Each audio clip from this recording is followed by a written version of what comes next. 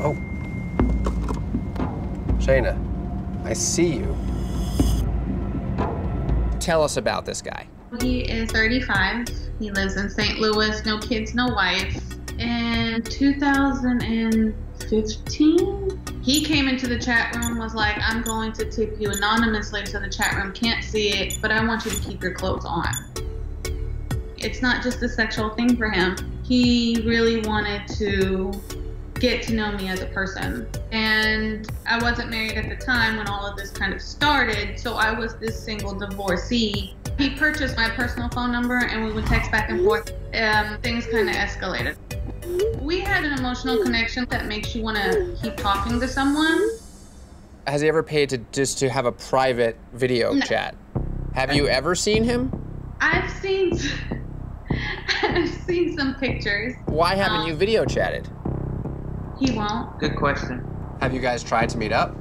He makes an attempt to meet, but he never actually meets. Back in January 2016, I had purchased something for him, but because he wouldn't meet me, I could not give it to him. So I left it in my car and I told him just open the car door, grab it out the seat.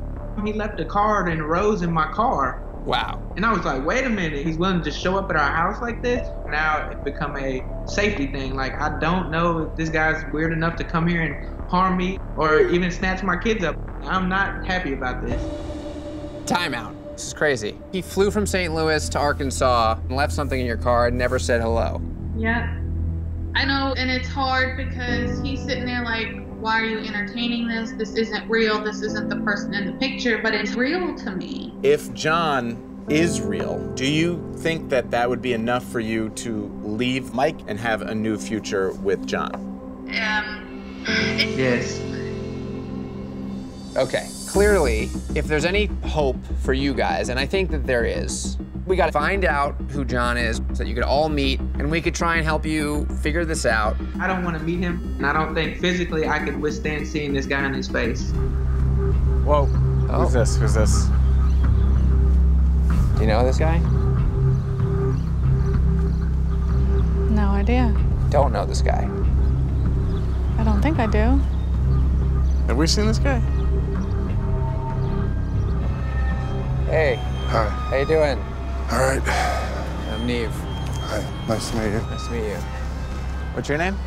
Miles. Miles, aka John. Yeah.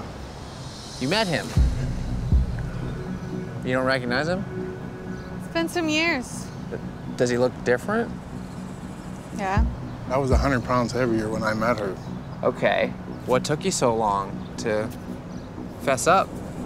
I was afraid what's going to happen. And the, the time that John stopped by her driveway and put something in her car, That was me. That was you. And do you live near there or? No. Do you live in Ohio?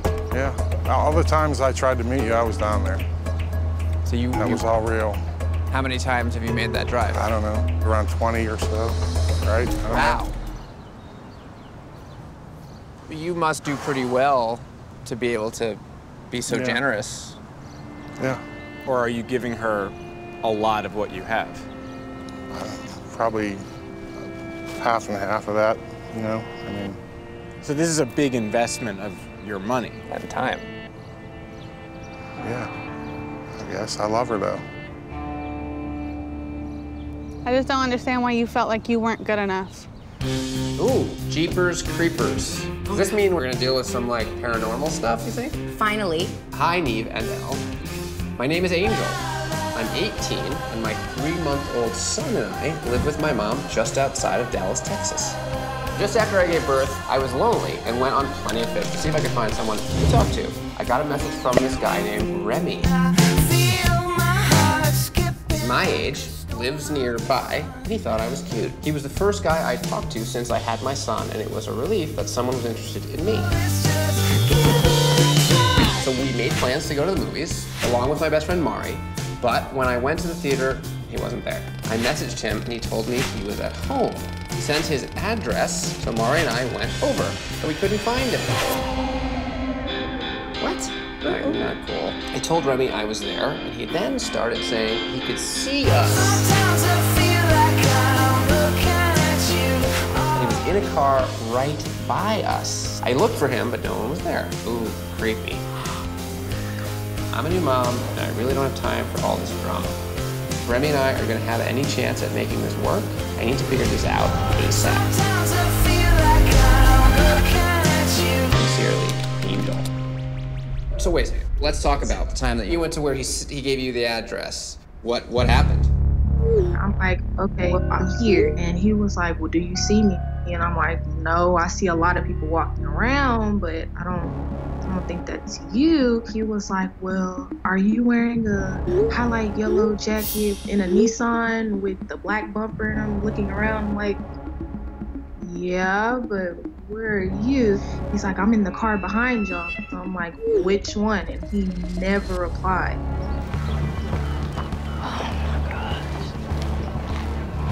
Remy, Yeah. I'm Nev. I'm Elle. How you doing? Hey, how's it going? And uh, this is Angel.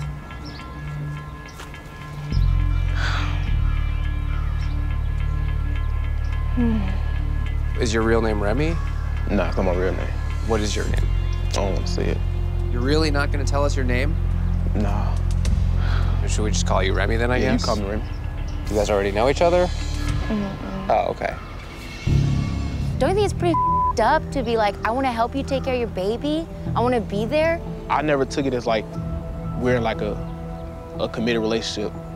She just wasn't catching on quick enough. Right, but if the game was to mess with people, you would have just moved on. Nah, it was still it was interesting to see her come around the house and like not find me. Like I'd be sitting inside a car somewhere else. Okay. So why don't you just walk us through the relationship, where, how you met? So um, I came across Jasmine's profile. We're on this dating app. She was very beautiful. She's a single mom and a nurse. There's some qualities there that I'm like, you know, I think she, she's mature. I don't think she would, you know, jerk me around a little bit. There was a Snapchat username on the profile. I added the Snapchat, and then we would just comment casually back and forth. And in the snaps, does she ever show her kid? Yeah, And she's snapping you directly, not from the camera roll. right. Every time I would question something, the Snapchat would kind of like pull me back in, because like I'm going to Disney in real time. The Snapchat's her in Disney.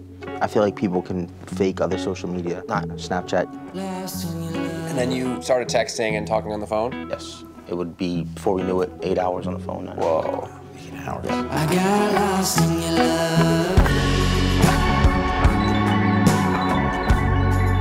When you see chemistry like that, feelings naturally start to develop. So we arranged to meet up, and I parked in front of the apartment. I looked up, and you could see like a shadow behind the um, shades. We were on the phone, and you can hear the anxiety. She's breathing heavy. Know, I can't, I can't do this. And so I just, I left. So then we meet up again. It's Valentine's Day. I got a, a teddy bear, and she came down, and um, we talked a little bit through the door, hear her voice, and then she eventually brought a blindfold. She turned me around, and she put it on. She was holding my hands, and then um, we talked for a little bit, and then she kissed me on the lips. You never touched her. You didn't hug or And anything. then she wouldn't let me. She like had my She was like holding your hands Yeah. down? And I didn't know if she at some point she was gonna pull the, the blindfold off and be like, okay. But then I realized that it's not gonna go any further at that point. I kind of got frustrated a little bit, and so I just I left. You never thought about just hanging outside her place until she goes to work? Mm, I have. There's one time that I went there because I was just fed up. I ordered a pizza. The driver comes, he knocks, no one answers. He leaves the, the pizza there. I sit, I wait a little bit. But you never saw her. No. Have you tried searching her phone number? Um, I, I did reverse phone number searches, but I've never come up with like a name. Yeah, I did reverse image searches, but I couldn't find anything. You did everything you could. Give me a second. Come on, Okay, at least let me hold your hand. Give me a second. Come on, you got this. You're, you're already there. You're already there. It's over.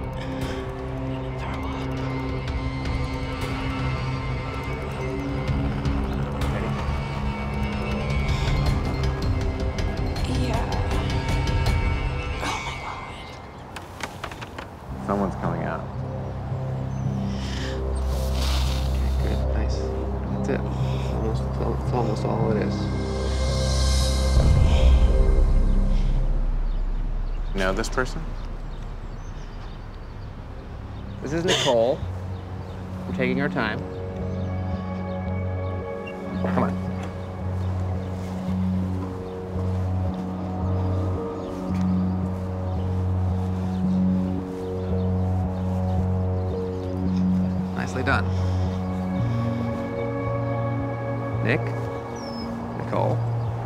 Nice to meet you.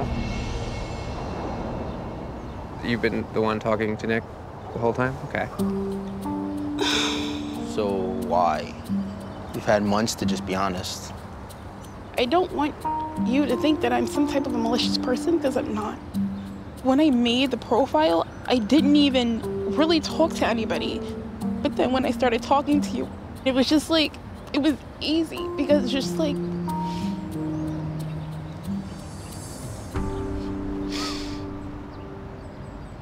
let's just be real. You wouldn't look at me the same way that you looked at that person because I am not.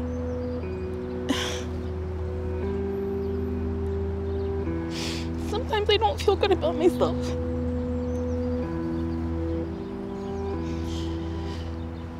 Um, I'm sorry, I can't. I, I can't. I can't do this right now. I'm sorry. I didn't think that I was going to have this profile, talk to somebody like the way that I talked to you, and kept it going. You are a great guy. You didn't deserve that at all. You really, you really didn't. And my words, you know, like I know they hold no weight, but I am seriously sorry that I did this to you. Oh, just I just want to know like if what we had was genuine. Yeah, But are you in love with him? I truly am. Like, the way you are is just absolutely perfect. I have no excuses for what I did because I know I hurt you. So tell us this whole story going all the way back to when you first met Shayna. Well, it started off on Facebook. I saw her in my people you may know, and instantly I just started hitting her up, and she replied back. She told me she was 21 and I was 17, so I felt like the big guy around campus and stuff, you know. Yeah, nice older thing. I like that. Uh-huh. so we got into a relationship, and I was supposed to meet her in New Jersey, but she disappeared on me. Did she ever explain what happened or? The whole time that we've been talking, it's been excuses about everything. Like I got called into work, or I got bad service, why we can't video chat. You kept talking, obviously, after. hmm Like she always knew what to say to get me back. Yeah. So me and her was just talking. Then a year after, she disappeared, and then I got a weird message in my email, and it was her friend Destiny Lopez. She said, "Hey, Shayna was my friend, and she passed away." Had you ever heard of Destiny before, or she just was a random friend of Just a random person. Wow. So I was feeling heartbroken. I was hurt and I cared about her and I loved her. So I'm like, I just lost a girl that I never even met yet, anyways, dude. It was like hard for me to move on. I was talking to other girls and stuff like that. And then I started dating other girls, but it was just hard. When Shayna died, did her Facebook page go away, or did it just disappear? It disappeared. Completely. And then two years later, I'm scrolling on Facebook and it says people you may know, Shayna Vasquez. Wait, wait, wait, wait. Sorry, you find out from Shayna's friend that she died, and you don't talk to her for two years. Two years. And then all of a sudden, she pops up I'm and scrolling on Facebook and I she start instantly hitting her with messages. I'm like, are you kidding me? It's been two years I talked to you and something like that. Like, where the f- you been? Like, what's going on? You know what I mean? Like, Wow. Wow. Back from the dead. uh huh. And then she told me, I apologize. I've been going through stuff. I just got out of a bad relationship. It was a violent relationship, and I didn't know how to handle it and stuff. Like she always needed to get me back. When she popped back up, I was in a relationship. And what happened to that relationship? Oh, we broke up. I Think it had something to do with Shayna being back? Uh huh. She got me texting her and stuff like that, you know. so it Oh was like, man, texting a Like- dead girl? yeah. You broke up with a real living person for a Facebook zombie? uh huh. You must really love Shayna. I do. I love her. Eight years is a long time to be waiting, man. We're gonna figure this out though. I'm ready. We got you. Actually, like three minutes before you guys got here, she actually hit me up. Really? She just said, just met Nev, still can't believe you did this. I saw her. I saw her. It's a picture of us. I didn't even notice Walking that. out. I saw that woman sitting in the lobby. Really? When we walked to the hotel, I saw a woman sitting in the lobby like this. And I even Took a picture and I even looked at her. Like- you can see I'm looking at her. Cause I was like, that lady's kind of creepy sitting there like I could tell she Right. was taking pictures. And I didn't say anything. Oh. Shayna, I see you. Just go Aw. through. Wait, no, no, just go through the gates, and at the V, go up to the left fork. All right, so here's the V. Here's the gate. Is that her underneath the tree? No, that's someone who works That here. can't be. I Shayna not. is sneaky. Where is she? Who is she? She could be anyone. She saw us, we should see her pretty soon, right? Shayna. Oh, is there you? someone up on that bench? Yeah, it looks like somebody's up there. That's that's the only place she could have seen us from, right? yeah. Yeah, and she looking too. Yeah, yeah, that must be her. Who else would be sitting up there all shady like that? Oh, they stood up. Hold on. Start walking. She's coming this way. This is a long walk of truth. Word. I'm trying to get a better look.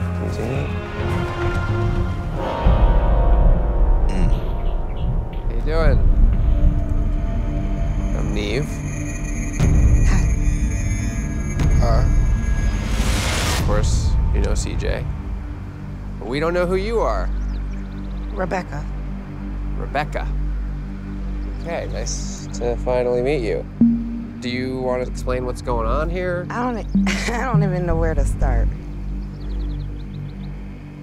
What, what's your deal? I, I mean, what of Shayna is true? What's not true? Who, who are you? I think Shayna, as a general person, that's really who I am.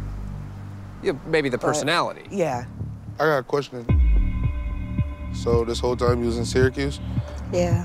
Why did you tell me that you live in New Jersey? I made up like New Jersey and other places I lived to try to like get away from the situation because I felt bad. How did you keep it for like eight years? Like, Just didn't tell anybody. I understand the the original reason for making the Shayna profile was something else. But when you met CJ, was it just for fun to talk to him, or did I you? real I really cared about like I really started having feelings for him. right, but And- but he was 17, and you're not in your 20s. No mm. offense. How old are you? 38. Wow. So okay, you were 30 when you met him, Yeah. I didn't really think about but it. But you knew he was 17 when you met him. Yeah. That's kind of messed up. Like it's one thing to to mess with people your own age, but like to mess with a kid for eight years of his like young adult life. We read your story and we're really fascinated. Can you kind of tell us the whole thing from the beginning? In 1999, my father had a mental breakdown and he ended up killing my mom. And a few years later, after being in prison, he had another mental breakdown and took his own life. Wow. Yeah, that's really intense and terrible. Do you do you remember any of that or you were too young kind of? I remember my dad, but with the situation with my mom, I don't really remember a whole lot. Who did you end up living with? I lived with my grandma, my father's mother. Okay, so two years ago, out of the blue, you just get this email. Can you explain how Yeah, that yeah. happened? Or was Courtney sent me a Facebook message saying she talked to my dad. She's like, You might not believe me, but if you could, please message me back as soon as you can and we can talk about everything. And at first, I was in shock and I didn't know what to think. She knew things like the brand of cigarettes he smoked, how he liked his cheeseburgers with ketchup only, and she knew how he liked his bologna sandwiches and what kind of ice cream he liked. Nobody on this earth should really know some of the certain things that she knows. She says she's a medium, and I mean, I really believe her. Did you mention the message to anybody in your family? Yeah, I talked to my grandma about it. She's actually the one who kind of pushed me into messaging her back. When we first started talking to Courtney, my grandma had questions, and the questions my grandma had was exactly how my dad had passed away. Courtney gave us the answer. She said that my dad told her that it was something to do with suffocation in the throat. Wow. And, and I guess that's how he took his own life in prison? Yes. Well, I guess the big question for me is like, what's in it for her? Does she Yeah. tr- does she ask you for money? Do you send her stuff? No, Uh, she actually sends me stuff. And what kind of stuff does she send you? For my baby shower, she sent me a $25 gift card and a little card with it. I mean, this is unbelievable. I mean, yeah, I've never been more hooked on a story in the history of the show. It's tragic. It's out of this world. It's out of this world. It's hard to believe, but we'd love to help you. So let us fly to Kentucky and see if we can figure out what's going on. Thank you so much. I really need professional help because I can't do this on my own. We might all need professional help after this. At this point, we're really not sure. There's a lot of evidence to show that this woman's just sort of a very sophisticated internet sleuth and con artist. She seemed. Wow, that was oh, fast. That was fast. Okay, this must be Eric uh, or Eric. Hello. Hello. Yeah, hi. This is Nev. Who's this? Hi, this is Erica. How are you? Hey, Erica. Great. Thank you so much for uh, getting back to me. We're just trying to find out a little bit more about uh, your friend Courtney. Okay. Can you just tell me how you know Courtney? We met about maybe close to nine years ago. She and her family moved directly next door to us, and they very quickly became part of our family. Has she ever mentioned someone that she speaks to online named uh, Kayla? Uh, yes, I have heard her name. hmm Do you know anything about the nature of Courtney and Kayla's relationship? Yes. It's Frankie, who is kind of like a um, a unique member of the family, basically. And you, you understand the circumstances under which Courtney and Frankie are communicating? I do, and I can understand um, why Kayla wants want some answers. Are you Courtney? Of course I am. Wow. Hi, Hi. Nev. You, you have your dad's eyes. oh. You have your dad's eyes. Hi, honey. Oh. Are you telling the truth? Of course I am. Oh, of course I am. I would never, ever make something up like this that could be so, you know, potentially hurtful. I just, I knew that the situation was so strange. You know, the more I talked with your dad, the more I realized, you know, something good has to come out of this. And I wanted to be able to give you that peace of mind. I wanted to be able to give you um, maybe some closure.